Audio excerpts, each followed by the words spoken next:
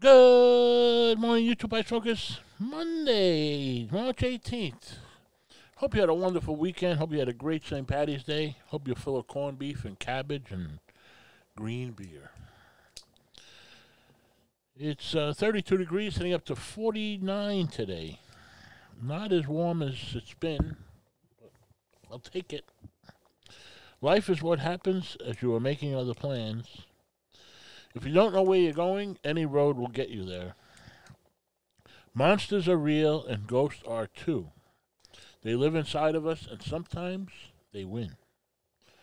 Don't just read, absorb. Don't just criticize, encourage.